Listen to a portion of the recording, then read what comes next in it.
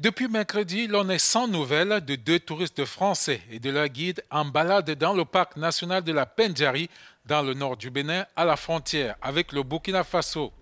Le parc de la Pendjari est réputé pour sa faune sauvage. Pour le moment, les autorités béninoises et françaises se refusent de parler d'enlèvement, assurant que des recherches actives sont en cours.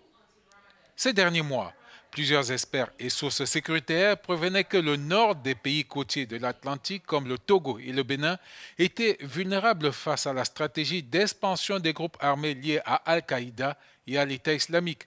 Du reste, le mois dernier, le Togo a fait état du démantèlement sur son territoire de plusieurs cellules terroristes. Sur un tout autre chapitre, le calme semble revenu à Cotonou après deux jours de tension post-électorale, mais les forces de défense et de sécurité sont perceptibles dans les principaux carrefours de Cotonou.